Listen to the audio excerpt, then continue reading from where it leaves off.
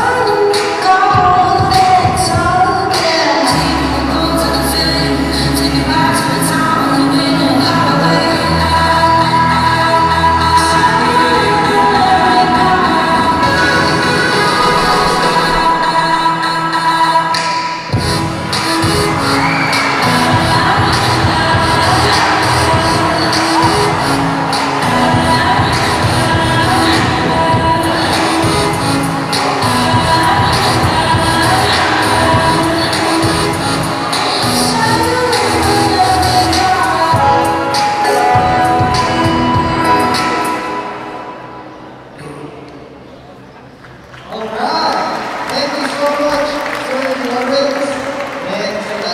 great things to